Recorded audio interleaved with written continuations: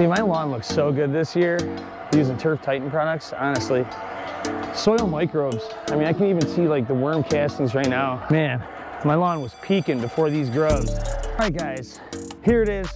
Grub situation that, you know, I did in my last video, which is up here. If you didn't see it, so we're on the same page, check it out. Uh, yeah, I got hit with grubs. I didn't treat the lawn and I'm an idiot. So now I did not replace it. It's a little late to grow seed. Uh, here in Michigan, it's a little chilly. Ground temperatures are still warm, but I still don't want to risk it. Um, so what I'm going to be doing is this. A subscriber, uh, I'll put his little thing right here. He suggested this stuff, Milky Spore. I've never heard of it before, checked it out. The theory behind this, and this only covers grubs, the white grubs and Japanese beetles. The theory behind it is these beetles lay eggs, the larva grubs, and then now you put this stuff, water it in. Your soil gets into the roots, grubs eat the roots. Grubs deteriorate, go into, or whatever, they disintegrate, whatever you want to call it, go back into the soil and get all in there. And then now the babies, grubs come in, they eat the roots and they get that milky spore bacteria in them and it's just a cycle. It's a vicious cycle until all the grubs are gone.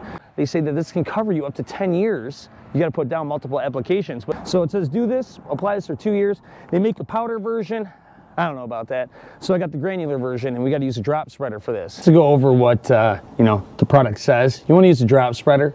See, there's a difference. There's a powder form of this and a granular. I went with the granular. The powder form, I heard you look like a crazy person. You got to use this tube and you like dab one little square per every couple feet. It's very odd looking, uh, but they have a granular and they suggest that you use a drop spreader. Not that this stuff is like toxic to humans or pets or your flowers or anything like that. You can get it in the flower beds, it says. But for accuracy, it says use a drop spreader because this right here, if you didn't know, these are called broadcast spreaders and they have this little like fan down here and it broadcasts everything everywhere. And you know which i've used for seeding my front lawn kind of leaves a it hits the tire kind of and like drops down. These are garbage. Don't ever buy any of these. Just to let you know even though they're nice uh, convenient everything hits the tire and drops down and leaves strips all right so this is a 20 pound bag and it's to cover 7,000 square feet. So now that we went over you know both of these spreaders and why to use a drop spreader because first off they're more accurate. So let's take a look at what milky spore i always want to call milk thistle. Here's looks like uh, gravel. That is what we are going to put in there. I have 6,000 square feet and it should take up majority of this bag.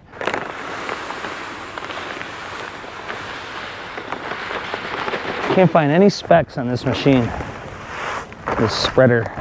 All right, let's drop some stuff.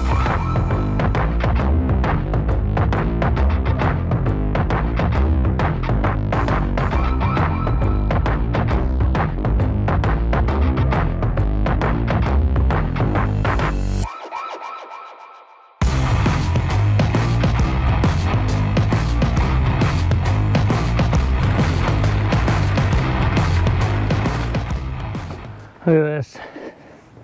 See this? This is animals in the middle of the night. They're still hitting up the grubs, but you can see this drop spreader is working. You can see the product all right there. So if some of you guys are wondering why my lawn looks like crap back here, one, I didn't dethatch, so I mulch a lot back here. But uh, second, I'm lowering the height of cut because I don't like long grass in the middle of winter to help avoid uh, snow mold with it kind of laying over. So it makes all these dead spot looking things and uh, you know, I think it's pretty much too late now. It's not growing back. Whew. Well, that's it guys.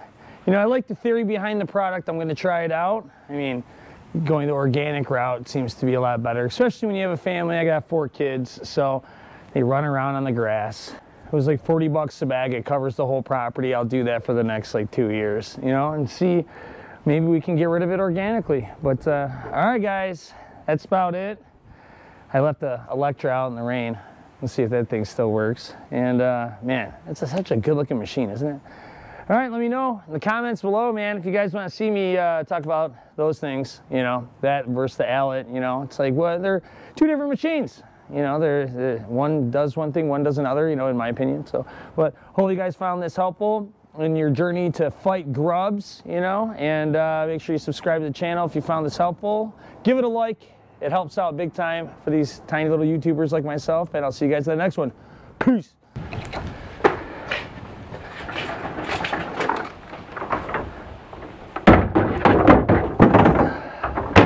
Garbage.